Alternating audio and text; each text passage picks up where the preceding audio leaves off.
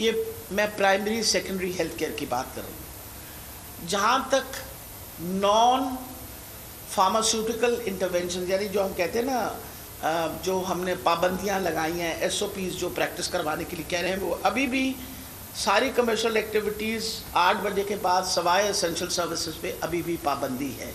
क्योंकि ये बात क्लियर करनी बड़ी ज़रूरी है। लोगों को ये बात पता होनी चाहिए कि कोविड अभी गया नहीं है।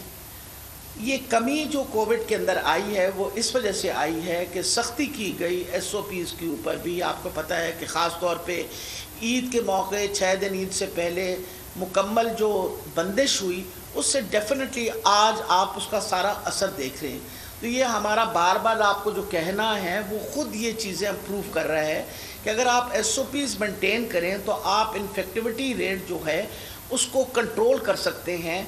और अगर आप इन्फेक्टिविटी रेट कंट्रोल कर लें तो यकीनन ये जो कारोबार आप लोगों के रुक जाते हैं और बंद हो जाते हैं, उनमें कोई बंदिश नहीं आएगी।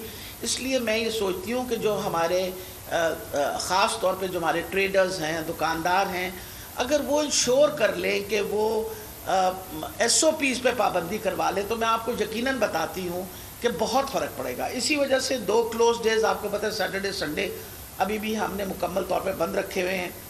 इंडोर वेडिंग्स पे अभी भी पाबंदी है और उसके बाद आ, बाकी एक्टिविटीज़ जो है जैसे पार्क्स वगैरह हैं वो खोल दिए हैं। अपना आपको पता है कि श्राइन्स जो हैं वो खुली हैं। वो लेकिन श्राइन्स पे भी ख़ास तौर पे उनको इंस्ट्रक्शंस दी हैं कि आप मेहरबानी करके एस ओ पीज़ जो हैं उनको मेंटेन करके रखें। और कोशिश यही कर रहे हैं कि लोग इस चीज़ का एहसास करें कि किसी किस्म की ये जो आ, सारी रुकावटें हैं, ये आपके फ़ायदे की होती हैं।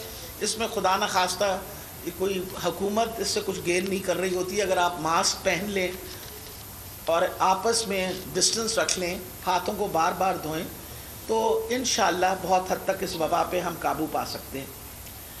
अब जहाँ तक ताल्लुक़ है कि जी, हमने क्या किया है बैस अवेयरनेस के लिए। आपको पता है कि एक मुसलसल आप लोगों की वजह से हम बड़े मशहूर हैं कि आपके एंकर्स भी और आप लोग भी मुसलसल इस इशू पे बात करते हैं और लोगों में बहुत ज़्यादा शूर पैदा हो गया है। लेकिन जो एक ख़ास तौर पे जो तकलीफ़ दे चीज़ है कि वो सोशल मीडिया के ऊपर जब गलत किस्म की ख़बरें आती हैं तो गलत किस्म की ख़बरों की वजह से लोग बदसन होते तो आज मैं मीडिया की वसादत से और ख़ास तौर पे कल फैसल सुल्तान साहब ने भी आपके सामने ये बात कही कि खुदारा ये ये जो अफवाहें उठती हैं, इनको खुदारा कान धरे ना। हकूमत इतनी ज़िम्मेवार है कि आपको अगर खुदा न खास्ता किसी चीज़ में कोई ख़तरा हो, हम खुद आपको बताएँगे। हम आपसे किसी चीज़ को छुपाते नहीं हैं। एक एक चीज़ आपको बताते हैं। सारी दुनिया में वैक्सीन लग रही अगर इन वैक्सीन का नुकसान होता तो बाकी दुनिया भी ना लगाती। तो ये सोचना कि जी वो चिप डाल दिया है इस पे फर्टिलिटी पे बांझपन आ जाएगा, या वो जी एक वो किसी वो, जिस तरह मैंने कहा था पिछली दफ़ा भी कि वो एक अपने, वो जो नोबल प्राइज़ विनर के जी हर बंदा जो है दो साल बाद मर जाएगा, जिसने ये वैक्सीन लगवाई है। हम सबने वैक्सीन लगवाई। मैंने भी वैक्सीन लगवाई है। डॉक्टर असद ने, अब ये सारे जितने लाइन में बैठे हुए हैं, हम सबने वैक्सीन लगवाई है आप लोगों ने वैक्सीन लगवाई है। दुनिया में बहुत बड़ी तादाद लोगों की वैक्सीन लगवा चुकी है। ऐसा कोई नुकसान नहीं हो रहा और ना कोई ऐसी बात है, अफवाहों पे आपने बिल्कुल नहीं जाना। इनका हमें बहुत नुकसान होता है।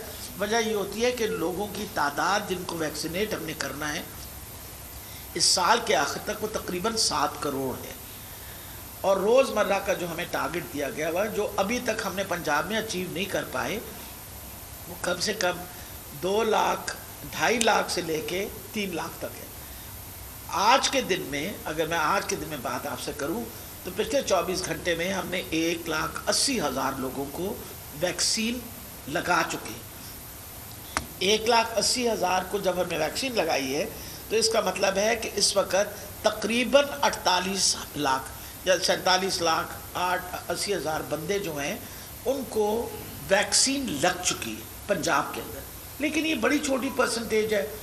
11 करोड़ की आपकी आबादी है। 11 करोड़ की आबादी के अंदर अगर हम मैक्सिमम वैक्सीनेशन ना लगाएँ, कम से कम 50 फ़ीसद आबादी को लग जाए वैक्सीन तो फिर हम इस पोजीशन पे पहुँचते हैं कि हालात बेहतर होने शुरू हो गए। बाहर के मुल्कों में देखा गया है कि जहाँ जहाँ वैक्सीन का रेट ऊपर जा रहा है ग्राफ वहाँ वहाँ आप देख रहे हैं कि इन्फेक्टिविटी रेट नीचे आ रहा है, जो कि ये चीज़ को प्रूव करता है। यानी सबूत देता है कि अगर आप वैक्सीनेट अपने आप को करवाएँगे तो इसका फ़ायदा होगा।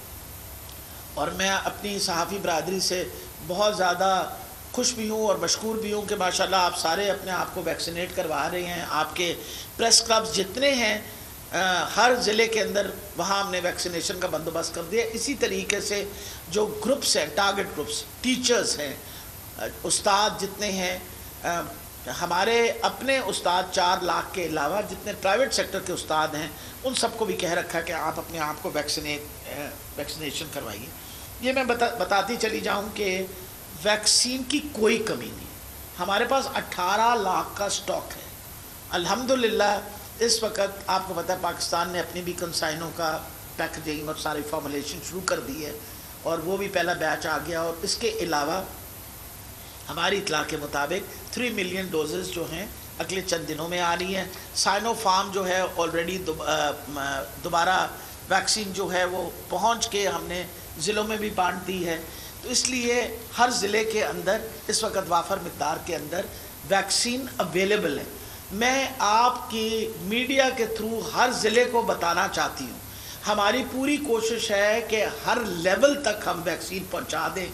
हमारे जितने रूरल हेल्थ सेंटर्स हैं, जो कि तकरीबन 300 के लगभग हैं, उनको मिला के और जो हमने इस वक्त कहा है टर्शी केयर हॉस्पिटल्स के, कल सुबह से 700 से ज़्यादा सेंटर्स वैक्सीनेशन के काम कर रहे हैं, जिसमें जो हमारे टर्शी केयर हॉस्पिटल के के जितने सेंटर्स हैं यानी वो 27 बड़े अस्पताल, लाहौर, फैसलाबाद, रावलपिंडी, ये सारे अस्पताल 24 घंटे वैक्सीनेशन की सहूलत जो है वो देंगे।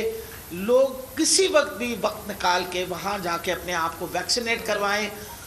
ये 700 वैक्सीनेशन सेंटर्स बनाने का मकसद ये है कि अब हमारी कैपेसिटी को तकरीबन साढ़े छः लाख से ज़्यादा छः लाख साठ हज़ार से ज़्यादा रोज़मर्रा की हम वैक्सीनेशन कर सकते हैं, जो कि हमारा हदफ है कि अगले महीने से हमने बढ़ा देना है, इसको चार से साढ़े चार लाख पे लेके जाना है और बढ़ाते चले जाएँगे, ताकि दिसंबर तक जो एक कमिटमेंट की गई है कि सात करोड़ से ज़्यादा लोगों को हमने ये वैक्सीनेशन देनी है। इन ये वैक्सीनेशन जो है, इस पर हम पूरा, पूरी कोशिश कर रहे हैं और इसमें आप लोगों की मदद की हमें बहुत ज़्यादा ज़रूरत है। Mobile vaccination camps 175 mobile vaccination camps भी इसमें शामिल यानी फॉर एग्ज़ाम्पल जो बड़ी बड़ी कॉम्प्लेक्सेस हैं, जैसे इंडस्ट्रीज़ हैं, जहाँ दो दो, तीन तीन, चार चार हज़ार वर्कर काम कर रहे हैं, वहाँ भी हमने अपने बाकायदा कैंप्स लगा दिए हैं, ताकि लोगों को वहाँ आने की ज़रूरत ना पड़े हमारे बड़े सेंटर्स में या हमारे जो वैक्सीनेशन सेंटर्स में, हम उनको, उनकी दहलीज पे ही वैक्सीनेट कर दें। मेरा ख्याल है इतनी बड़ी सहूलत शायद ही पहले किसी हुकूमत ने इस तरह दी होगी कि हम हर जगह पहुँचने की कोशिश कर रहे हैं कि लोगों को वैक्सीनेशन मिल जाए, क्योंकि ये बात पक्की है कि अगर इन हम अपने सात करोड़ की आबादी को वैक्सीनेट करवा लें, जिसमें तकरीबन साढ़े तीन चार करोड़ जो है वो तो पंजाब की आबादी होगी तो यकीनन यकीनन हम हालात बहुत बेहतर कर सकेंगे और उसकी वजह से जो कारोबारी लोगों की ज़िंदगी के लाहौर में वज़ीर सेहत पंजाब डॉक्टर यासमीन राशिद